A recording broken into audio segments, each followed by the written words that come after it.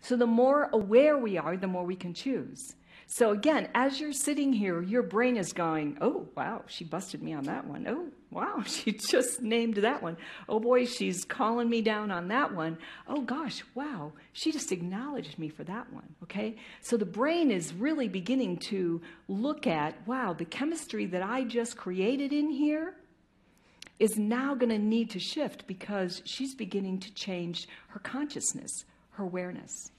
When we are in alignment with our wholeness, when we're in alignment with our gut, our heart, and our head, not the other way around, our cerebral cortex that says, do this, do that, be worried, be resistant, get distracted, don't want to be here, really, I paid for this, you know, that part, you know, but the gut, gut that says, whew, man, I got this, I feel this, I am this, oh my gosh, thanks for reminding me and the heart that has the deepest, truest, most full wisdom.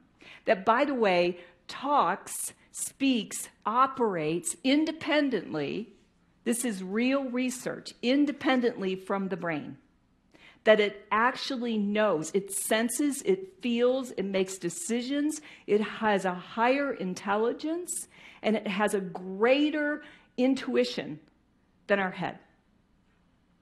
So when we're aligned, gut, heart, head, and I'll say a little bit about the head.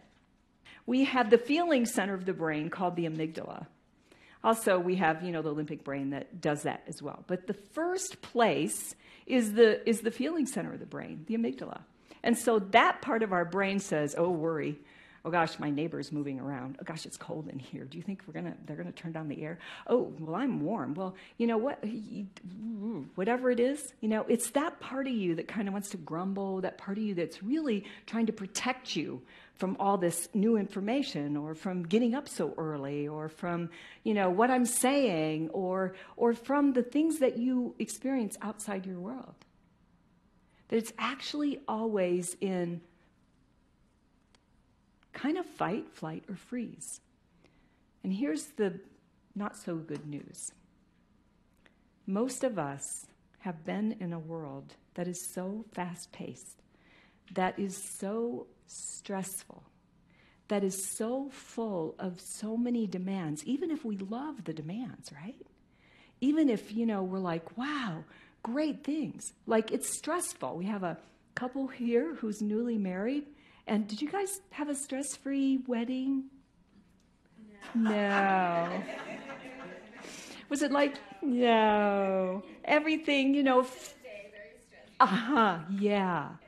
And then, and even though, so it's a good thing, right? It's like something, gosh, who doesn't want love and union and all the things that weddings are made of, right?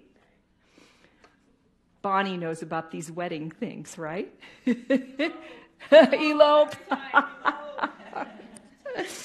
so even though there's some good things, you know, how many of you moved here recently? Yeah, yeah, okay. Was it was it stressless?